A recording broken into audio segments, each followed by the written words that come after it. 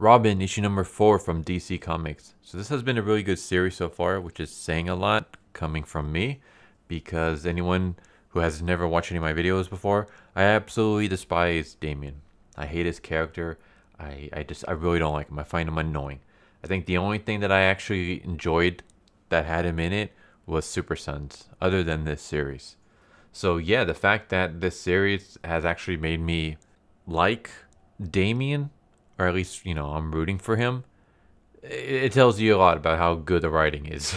In the last issue, Damian fought Hawk, who is Oliver Queen's son, and Hawk basically threw Damian off a cliff, and right before he hit the rocks below, he was saved, and it looked like he was saved by Ra's al Ghul, and it turns out that uh, yeah, that's what happened. So he wakes up, and uh, Goliath is there, standing over him, and it turns out that Goliath caught him before he hit the rocks. And Damian goes outside and discovers that he's on another island. Not the island where the tournament's being held. And on this island, uh, Ra's al Ghul, his grandfather, is living there as uh, some kind of yoga instructor, basically. uh, yeah, Ra's is just chilling, doing yoga on a rock, meditating on life, I guess. And um, yeah, basically this whole issue is just him and Damian kind of chatting it up, and how uh, Damian is angry at Ra's al Ghul and thinks he's a villain, and Ra's al Ghul is kind of like stop, you know, relying on your emotions too much. You know, you need, you need to, to relax and you need to think, plan your actions before you just jump right into them. You got to stop being so headstrong. And then meanwhile, we cut to Ravager, who was trying to find Damian, and uh, she comes across this guy named Respawn, who is basically a parody of Deadpool, who himself is a parody of Deathstroke. So I guess we kind of go full circle here. And Respawn is killing this dude and uh, talking to Ravager. Ravager's basically like, you know, I have, I'm looking for someone, and I have all, all the time in the world because the tournament doesn't start until all the fighters are dead at least once. And Respawn's like, yeah, that you're right, including you. And so he stabs her and kills Ravenger. And Ravager's going to get brought back to, to life later that night, and then the tournament's going to officially begin. Meanwhile, back to Damian. Um, he's trying to fix uh, the ship that Ra's al Ghul used to get to this island.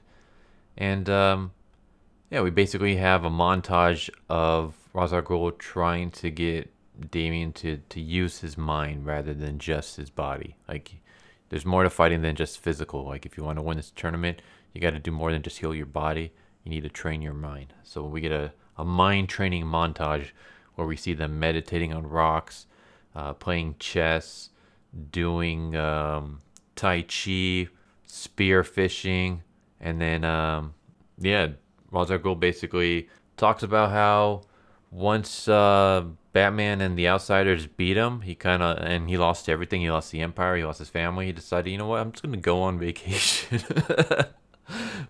Like, I'm just gonna go chill out at a beach for a while, you know? I guess he just got tired of getting his butt kicked. I was like, you know what, dude? I can't blame you. If I had the opportunity to just take a, a ship and fly to a deserted beach and just chill and relax, I'll totally do that. So yeah, Ra's is just chilling. Basically, he he became um what's that guy? He reminds me of Johnny Depp's character from the the SpongeBob cartoon series. Johnny Johnny Depp's guest starred in one episode of SpongeBob, and it was an episode where they go to like they they they go surfing and they get stranded on this island. They meet like the greatest surfer ever, and he's just like super like and he's just like you know completely like namaste and totally yogaed out and stuff. That's basically Ra's al Ghul. Ra's al Ghul is just like a yoga dude now, chilling, watching the stars, meditating, doing yoga and tai chi and stuff. And uh, yeah, he basically tells Damian like, hey, like your greatest enemy is yourself because um, you you're too headstrong. Like you're you're there's too much turmoil and rage in your heart, and you got to just relax and let it go. You can't have all this stress building up, otherwise it's going to get to you. And then while uh, Ra's al Ghul is talking and going on his monologue, Damian sneaks out and steals the, the ship and flies back to the tournament island, where he discovers that there's some ninjas who are talking about this book that's like really special. Like Damian even asks like, what kind of book is worth the secret to immortality? So yeah, Damian's trying to figure out what's going on. And there's some more, but I'm not going to spoil it. But yeah, this was uh, an interesting issue. It's basically um, Ra's al Ghul becomes uh, becomes a yoga teacher and basically teaches Damian some DDP yoga. no, it's, it's, basically just Ra's al Ghul and Damian kind of bonding and stuff, and well, at least not really bonding, but just kind of having this this talk. And Ra's al Ghul is like just really chilled out. Probably smoked a bunch of grass or something. I don't know. But this is an interesting take on Ra's al Ghul. And uh, yeah, not much else really happens. This is basically Damian learning that, you know, he needs to train his mind, not just his body. He needs to let go of all his rage and stress and emotions. He has to learn to control his emotions more. And um, that's pretty much it. It was okay. I get what they're going for here. Obviously, I would have liked like some action scenes, you know? Like this is supposed to be like a fighting tournament arc. So I would like some fighting in my issues. But obviously, I guess, you know, not every issue can have, you know, fighting in action. Like we got a, we got a fight scene in the last issue and previous issues we had some fight scenes and stuff like that. So this is more of like the just like the downtime kind of issue. The what what I actually call the the breather issues. Basically gives the audience a chance to breathe. I don't really know if you need breather issues when it comes to comics because comics you're not really binge reading comics. You're you're waiting anywhere from two weeks to a month to sometimes you know three months before you get your, your hands on the next issue. So that's enough time to, to breathe in between issues. Because, uh, yeah, breathers are basically like in movies. You can't have nonstop action. Like, you have to give the, the audience a chance to, to, to relax and just kind of breathe. And that's when you usually have, like, the character developments and exposition and stuff like that. That's basically what this is. So, um, it's fine for what it is. I mean, for uh, a breather issue, it's good, but obviously, like, I, it doesn't doesn't stand up to the previous issue because the previous issue kind of had everything. It had some uh, some character development as well as a fighting scene. Like I like the previous issue more. This isn't a bad issue. series is still good and entertaining so far. What would I give this issue? Maybe like a six out of ten. It was fine.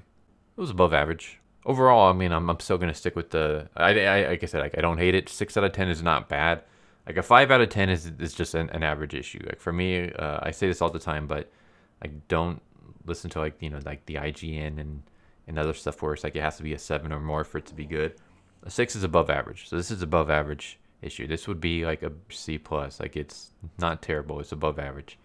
Um, overall, the series has been pretty good. Like if you like tournament arcs, like if you like you know watching anime or reading manga, and you're a huge fan of tournament arcs that you usually see in uh, shonen stories, then you're you're gonna enjoy this. If you liked uh, Enter the Dragon. You're gonna like this. If you like Mortal Kombat, which itself was basically a copy of Enter the Dragon, then yeah, that's that's basically what this is. This is basically Enter the Dragon with Damian as the main character instead of Bruce Lee.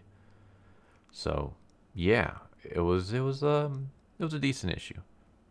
Anyway, I hope you enjoy. Tell me what you think. If you guys been enjoying this series so far, you got any recommendations? Let me know. Recommendations for comics, manga, any of that and uh, yeah, hope to see you guys next time. Later. So what did you guys think of that video? Hope you guys enjoyed. If you guys haven't already, please subscribe, hit that bell for notification, leave a like if you enjoyed the video. And if you didn't enjoy the video, thank you for watching it this far, and I hope the next video is more to your liking. Feel free to check out the playlist that you guys see, and I hope to see you guys next time. Later.